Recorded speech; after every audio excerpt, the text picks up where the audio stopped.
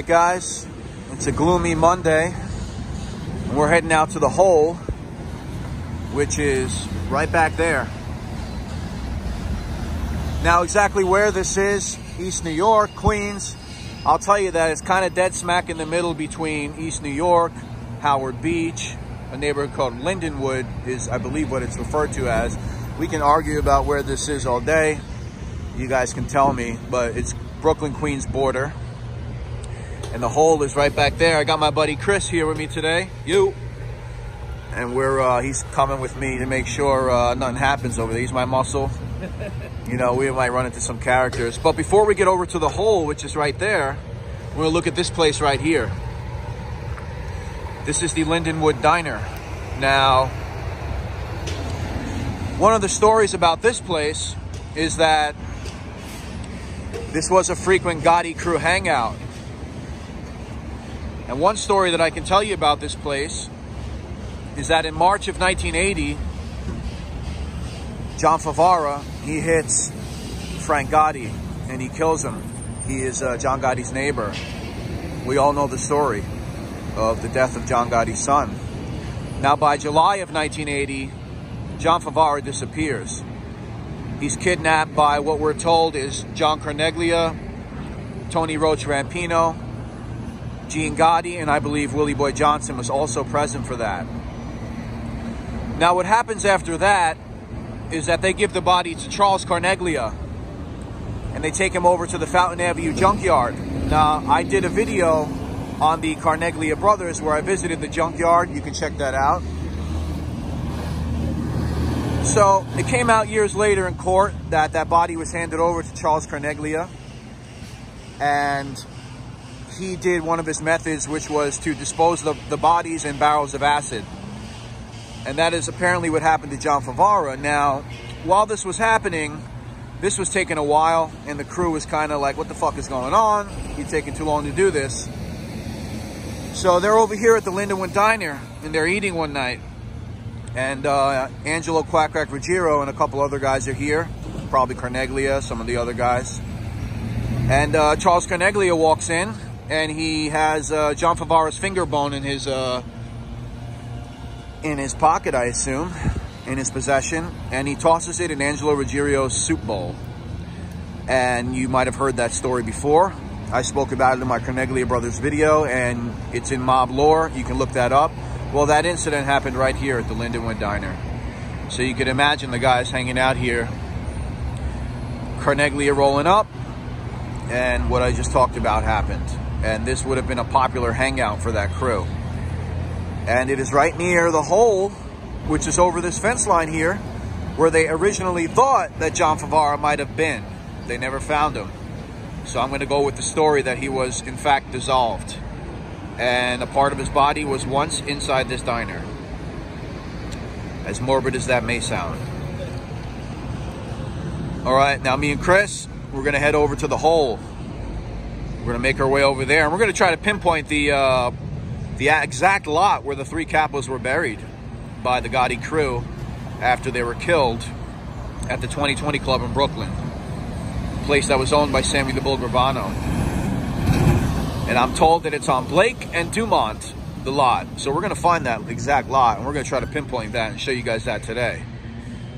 Um, so let me let me uh, pause for now, let's figure it out.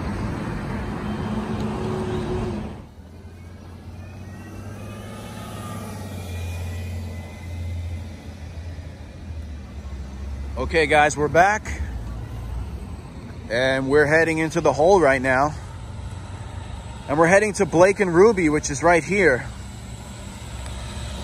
Why are we heading to Blake and Ruby? Well, Blake and Ruby was said to be the spot where the three capos. Whoa, that's a loud. That's a loud bus. Get that exhaust checked. So Blake and Ruby was where the three capos were buried. Now we know the story of the three capos in May of 81 when they're killed at the 2020 Club by the Bonanno crime family because they were rebelling against Rastelli, who was the imprisoned boss at the time. And you had Massino, Vitale, and you had some of the Canadian guys like uh, Gerlando Sciascia. And they met them there and they concocted this plan to take these guys out. And that's exactly what happened at Sammy the Bull Gravano's 2020 Club in Brooklyn.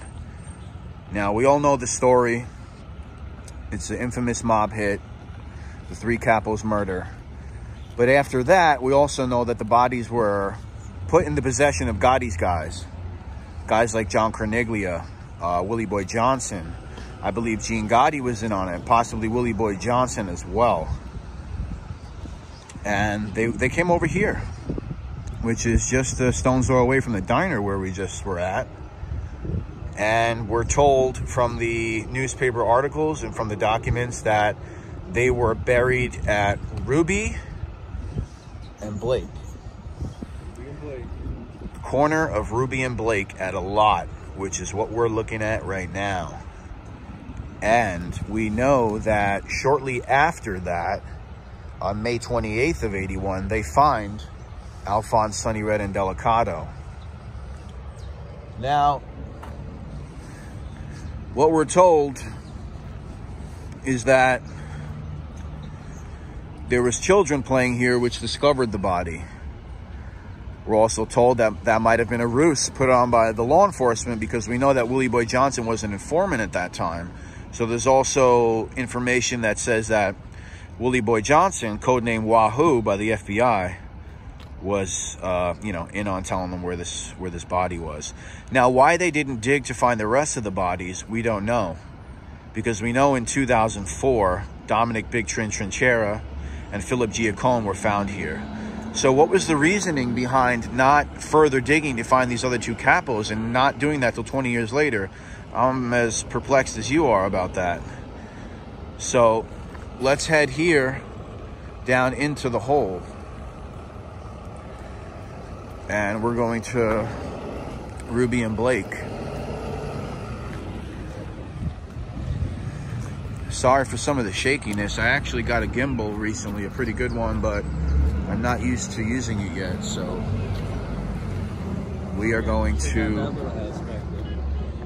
we Yeah, you're gonna see a lot of weird stuff in here. Alright, so right now we are at Ruby and Blake.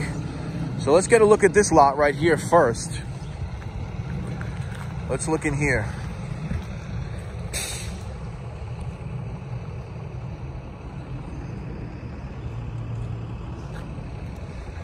Try to get closer in there. Try to get a closer look.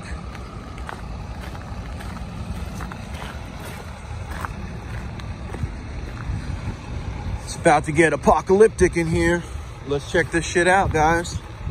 Look at this. Look at this. And it's good that it's a gloomy day. It kind of adds to the ambiance, right? It's like looking for one of those. Yeah, yeah. wow, look at that. it's a gloomy day. Like I said, it adds to some of the ambiance here.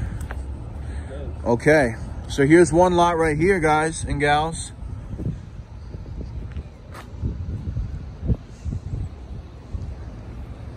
Now, I decided that I'm not trekking through this. Yeah. but was this the lot where the three capos were found? Quite possibly. Quite possibly right here. Let's go across the street because there's another lot right there. we're gonna look at that one as well. You know what, actually, let's go over here. Let me step on all this suspect material.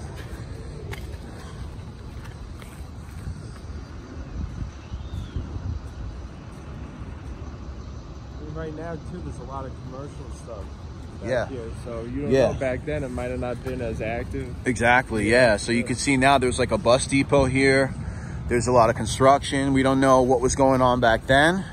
I'm sure maybe similar, but back then you also, you know, as me and Chris were talking about before, could have been that Gotti's guys or whoever it was, they owned some of these properties here. We know that Carneglia was in the Fountain Avenue junkyard, so he had experience owning some uh, junkyard property. So you never know. You never know exactly what these guys had their hands in. So we're at another lot right here. And let's walk, let's walk over. Yeah, this is a big lot. Is that the conduit up there? I'm not sure. Okay, let's look in that. here. Maybe, maybe it's more likely to be this lot. Yeah, let's look in this lot. Oh yeah, look at this. Look at this. Man, this seems like a good, this seems like a good guess, to be honest with you. This is a big lot, and yeah.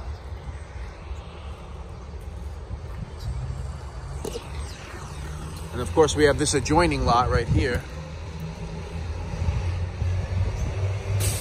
So this is a pretty big lot and it looks like you can hide pretty good in here, right? 100%. Watch your back. Beep, beep.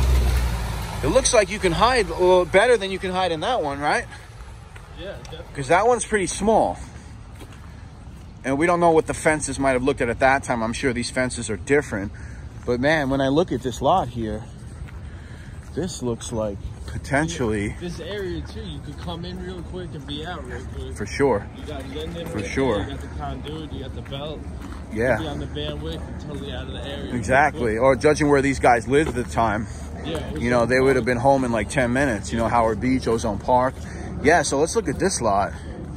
This is uh, at the corner up there is uh, Blake and Ruby. This is a pretty big lot right here.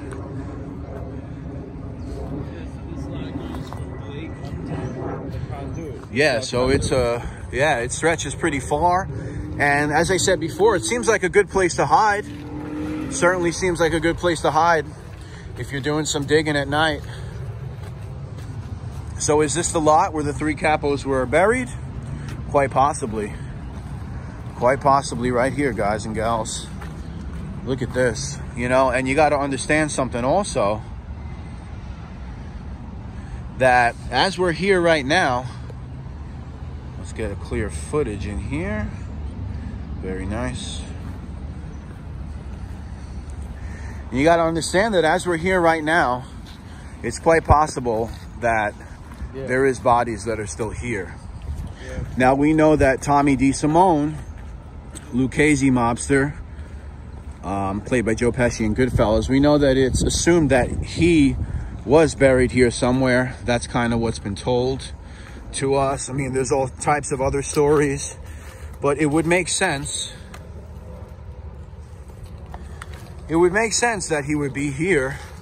I heard a story about, um, which I, I believe is complete bullshit, about him uh, ending up in a car and driving him to Philly to crush him. I mean, that makes absolutely no sense to me. That's similar to like the shit you hear about Jimmy Hoffa being killed. Um, forgive me, I believe he was killed in the Michigan or Ohio area. You're gonna slaughter me for not knowing that, but and then they drove him across a bunch of states to like bury him. I mean, that doesn't make sense. It- it- have- you know, if you have all these other areas Yeah. at your disposal, why Exactly. You Exactly. the body across exactly. Because at that lines, time, you know? yeah, at that time you had the Carneglia Brothers junkyard. You had this place, the hole. Um, why the hell would you drive a body? I mean, it doesn't make any sense at all. So, guys, we're looking once again at this lot right here. And then we're looking over here at this lot here. And my assumption is that it's the lot behind us that we were just at. Simply because of the size. You know, but definitely eerie. It's definitely eerie. You're right, Chris. You're right. Um, and as I mentioned earlier, originally they thought that John Favara was buried here. So they came here to Blake and Dumont, which is over there, and they started digging up there after they find the other two captains, but they didn't find anything. Now, there's been other people from this area, you know, I found articles, oh, there's five, this guy is talking about 13 bodies are there, five bodies are there. I think it's just become exaggeration over time as to how many bodies are actually here. But I'm to guess that as we're standing here, there is bodies here. How many? I don't know. But we're at the corner once again of Blake and Ruby, where they found the bodies of Alphonse, Sonny Red, Indelicato back in 81. And then in 2004, over 20 years later, Philip Giaccone and Dominick Big Trin Trinchera who were killed at the 2020 club. Yeah, what do you got? I wondered too, like in the '60s, they did a lot of work back here. It said building retaining walls or whatever. Yeah. They end up ever doing more work. Yeah, You know, yeah, they did a lot of work. Pop up or anything. Yeah, well, yeah, you never know. One of the things that they were saying when they were digging is that over time they tried to uh, fix some of the ground in these lots. They were putting concrete down there, trying to reinforce it. So they thought that was going to be a problem in trying to dig this area up. So let's get one more look at Ruby and Blake. We got the lot right there. We got the lot right there. This was the resting place for the three capos until they were found. Now, let's just take a stroll through this area. What do you say? We're gonna take another stroll and uh, get a glimpse of what's going on here. I know there's been other videos of this done, um, but I'm trying to really pinpoint exactly where that lot was, and I think I did. I think it makes sense that that's where that was. Some of the videos I saw also, these guys are coming back here at night, so you don't got Yeah, good yeah. visuals on anything. And Yes. also, not for nothing, I wouldn't come back here at night creeping around. I would not come back here at night. Yeah, I wouldn't come back here at night either. Um, I know that Action Kid did a walkthrough of this video, but he just did a general walkthrough, doing what he does. You know, he's good at that and, uh, now, oh, yeah. Cameras everywhere. for sure. I know Mooney Dashcam did a drive through here as well, but uh, you know, I figured it was worth it for my channel to give a little walk and uh, Also with the diner too. you know, yeah, for sure. there with the You guys got to see the Lindenwood Diner as well, which is kind of cool. So here we go here. You see this old building here. Now, once that existed here was also a federation called the, the Federation of Black Cowboys, which was um, no longer in existence now. I think they had to move them out to make room for housing. But this was a society that was honoring the uh, black cowboys throughout uh, American history. That was here. Not sure why it was here, but nonetheless, it was. So you guys are seeing some of this area here. Oh, wow, real estate. This is probably the most beautiful thing in this hole. You got that weeping tree right there. That's really nice. Look at that. Wow, that thing is probably very old. It's a beautiful tree.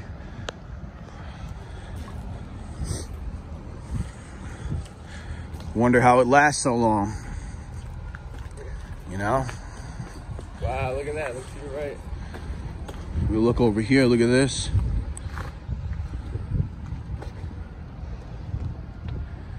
Yeah, guys, this is an interesting place, and you know, people do live here. So we want to be respectful. We're not really causing trouble here. Just doing a walkthrough. I actually heard uh, a video with a guy talking who lives back here, and he said one of the reasons he liked living back here was because it's secluded and that Yeah, he doesn't, you know, that not a lot of people would just come here. know, Exactly. set apart from everybody else. exactly. And it's kind of reminiscent, if anybody watching knows of the Iron Triangle in Flushing, which most of it has been taken down at this point. Um, that's the triangle that's right across the street from Citi Field, formerly Shea Stadium. Oh yeah. And uh, I spent many time as a youth walking through there, messing around. And uh, yeah, so that place this is very reminiscent of that. Although I will say that place is actually worse than this, I think, because you would drive through. Definitely. Well. Yeah, yeah, the streets there were so bad. It's almost like they made them stay bad on purpose so you can pop a tire and, and fucking, you know, get a new tire there. So we have another lot right here, as you can see. Yeah, I mean, there's so many areas back here. God knows, you know. Yeah, What, what, who the hell knows? What went on? Who the hell knows? Stuff that was reported, not reported. And you guys watching, you know, this area of Brooklyn and Queens was certainly a mafia stronghold. You know, the Howard Beach, Ozone Park, East New York. I mean, this whole area was just infected with the mob. Smell that fresh sewage. Yeah, it smells like sewage, guys. I don't know how we're gonna get over there, but look at this. Look at all this sewage. This is why they say low-lying area Queens because we're we're pretty low, and you get all these water collections here. You get all this bad sewage and stuff, and we got these trailers here, and people are living in there. People are living in there. From my understanding, the work they had to do to the houses was similar to what they did to houses after Sandy. Building, What did they do? Where they raised all the houses Okay. up off of the floor and built retaining walls. Um, that's what they were talking about. What I read. In Okay, so they had to reinforce them. Yeah, trying to um, escape the problem of the flooding, raise the houses, and Wow, wow. so that's a whole. That's a big job in itself. Yeah, You know? yeah, man. So, especially when they decided to build new housing here, I'm sure it was a problem. Look at that house on the other side there. Look at that abandoned thing. Yeah, I mean, Yeah. water is the worst, man. Water Very eerie. Gets worse Yep. and worse and worse and Yep. breaks everything down. You know. Yeah, and you don't know how they were building these houses. You know, you don't know what kind of wood and what kind of structures they were doing back then. Also, this is basically a freshwater collection, right? Yeah, I mean, could Rain. Be a mix of both. I don't. you could be a mix of both. Yeah, yeah. Who knows what's coming up out of the ground? Yeah. You know? Wow. So you guys are getting another glimpse of this area here. Um, so let's go back around and maybe we'll go around the corner and go to the other side. Look, this guy's gonna drop there. Uh, I don't think that guy's driving through. You Oh, better test it before. Looks a little rough around the edges over here.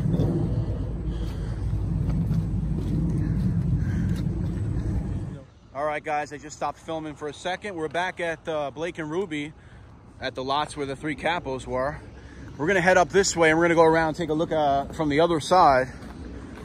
Um, you know, it's weird here. You know, you walk down one block and you run into a freaking massive puddle. And, you know, honestly, I don't want to walk through that. Need your waiters. Yeah. If you ever come here, you know, I got sneakers on. I think Chris does too, kind of. So you want to get some real good boots, maybe even some winter boots if you really want to get down dirty in here. This is cool. We're going to get some elevation here, so we'll get a we'll get a look from up top here. You can see the lots. And this is a weird place, man. I wouldn't want to be here at night. I mean, I'm not trying to talk about the people that live here or anything. It's just kind of eerie. Um, takes a certain kind of person to come here like those guys did and start burying bodies at night, you know. But I guess if you're packing heat, it's uh, it's another story. So we're on a more uh, residential block right now.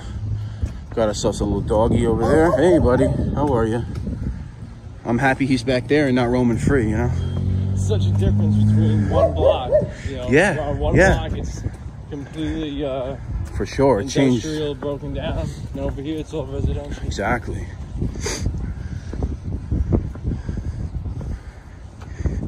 And the cool thing about this, like many times I speak in my videos, it's like, you know, a lot of these areas that I go to, oh, look at this right here. Wow. A lot of these areas that I go to in like East New York and Brooklyn, you know, you could, the houses have been the same for so many decades. So it's almost like a glimpse of what the people would have saw back then. Whereas other neighborhoods in New York City have been so gentrified and so changed and so many apartment buildings that it's almost hard to capture kind of what was going on back then, you know? Especially if you go into Manhattan and certain parts of Brooklyn and, you know, but, you know, there's certain areas that are still kind of the same, which I like.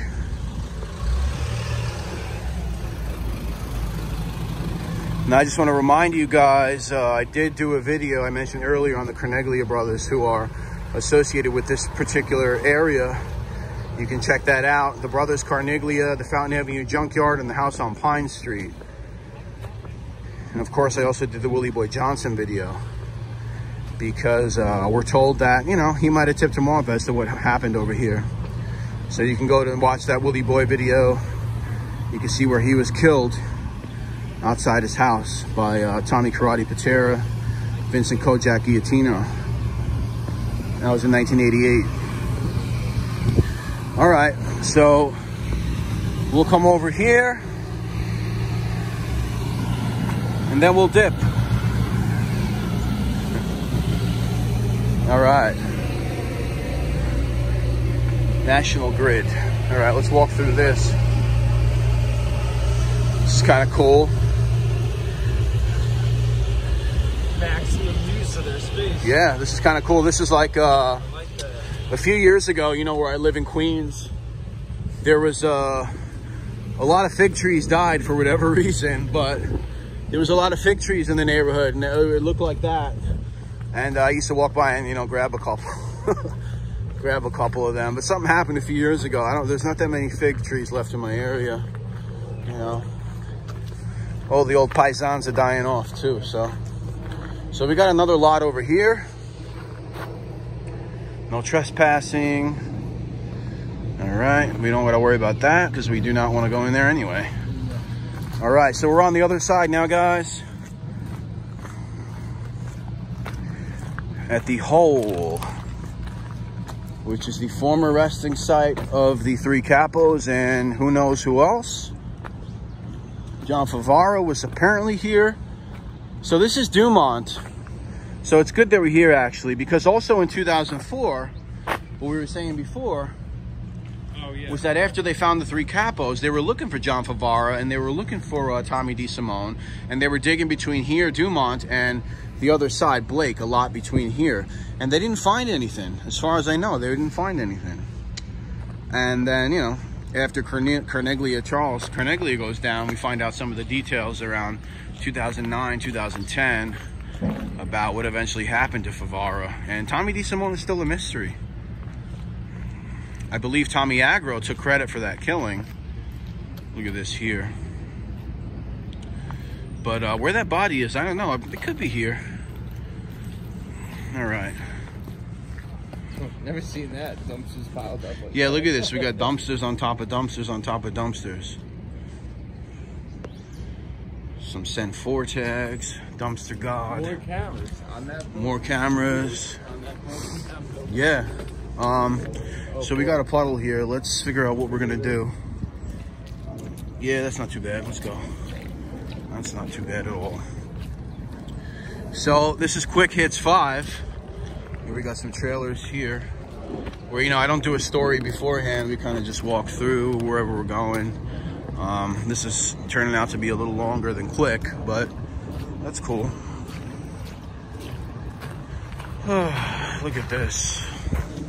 Dead end. That guy over there is staring at us. Whatever, we're out of here soon. Don't worry, buddy boy. All right, so let's go up this way, Chris. We got another weeping tree right here. Wow, look at that. These are awesome. This is like the prettiest thing in here, these two weeping trees. All right, let's get up over here. I don't know what this is I'm stepping on. God. Right up this block, we're back at uh, Linden. Oh, sick. Yeah, so we're all right, cool. So we're back at Linden. And can we get a view of the diner from here? I think so, right? Uh, it's gonna be to the left of that Planet Fitness open, opening up. Okay, Once cool. we're at the corner, we should be able to see it. Cool. So let's go to the corner, guys. We'll get a look at the diner, and that'll give us another reference, uh, you know, as to how close this was to that diner where they hung out. I mean, That's a good. That's probably why they hung out there too. It's right Yeah. off the belt. So yeah, exactly. to. It's right off the belt. This is pretty much their neighborhood, and you know, like many diners in the tri-state area, they're open. Some of them 24 hours. You know, some of them deep into the night. So it's a uh, good place to hang out and bullshit and uh,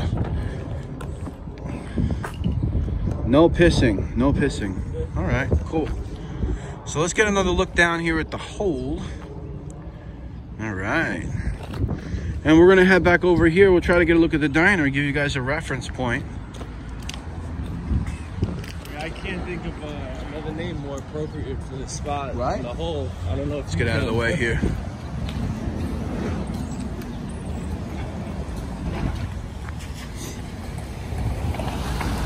All right. Yeah, it's definitely a good name. It's definitely a good name. You even see how the elevation, like we're going up once we get on Linden. Then everything just drops into a hole.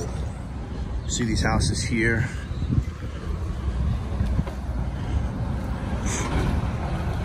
So just a quick walk through.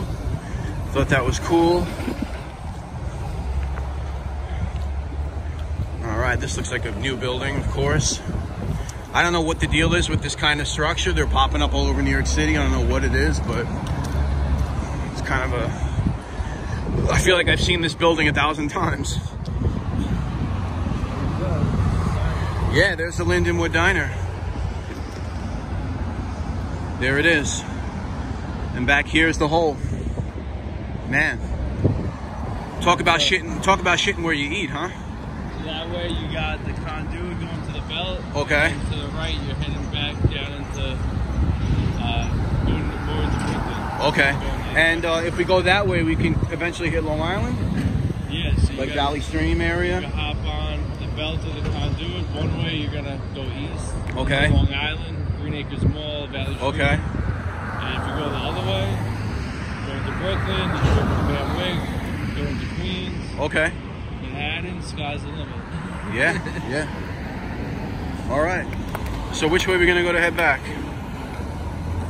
Uh, Go this way. yeah, I mean, All right. Yeah, we'll head this way. We're on Emerald Street right now. We're on Linden Boulevard. I mean, yeah. Anyway, besides that, because that water down there. So I'm gonna end it here, guys. We'll get another look down at the hole.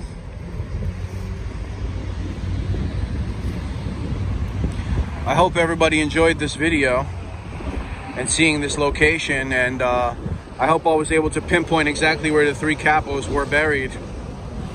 And uh, yeah, I appreciate all my subs and everybody that leaves good comments and likes and all that other good stuff, guys. Everyone have a great week. Chris, thanks for coming. Thank you. Appreciate it. This guy was protecting me the whole time. I was scared. All right, everyone. Quick hits five.